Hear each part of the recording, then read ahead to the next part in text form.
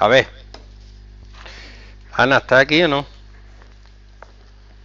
La temperatura de fusión del hielo en la escala centígrada es 0 grados centígrados. Y 32 grados en la escala Fahrenheit, que es otra escala de temperatura. La ebullición del agua es de 100 grados, que equivalen a 212 grados Fahrenheit.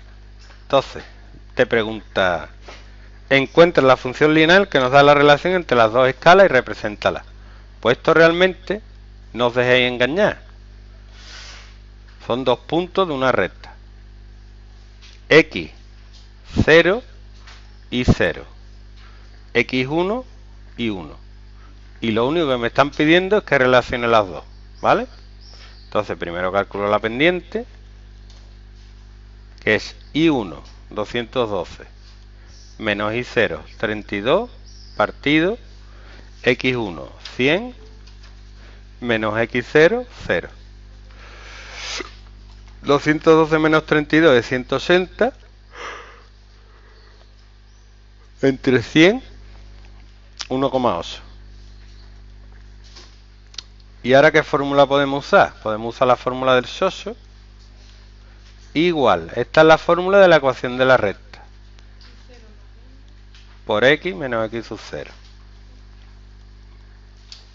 Entonces, y es igual a y sub 0, que es 32 más m 1,8 por x menos x sub 0 que es 0. Pues ya tengo la relación que hay entre los grados Fahrenheit y los grados centígrados. Ojo, cuidado.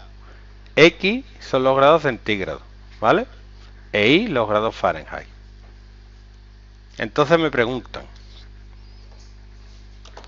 Dice, pasa a grados Fahrenheit 25 grados centígrados. Ajá. Esto es X. Entonces la Y, que sería la temperatura en grados Fahrenheit correspondiente a 25 grados centígrados, es 32 más 1,8 por 25. ¿Quién usa los grados Fahrenheit? Los americanos. Te pone 200 grados. ¿Y dónde va? Yo por los grados centígrados. 77 grados. Fahrenheit. Y luego os dan los grados Fahrenheit. ¿Cómo calculáis los grados centígrados? Pues en vez de sustituir la X, sustituir la Y. 86 es igual a 32 más 1,8 por X. Paso el 32 restando y me queda 86 menos 32, 54. Y X me queda 54 partido 1,8. ¿Cuánto es? 30. Pues 30 grados centígrados son 86 grados Fahrenheit.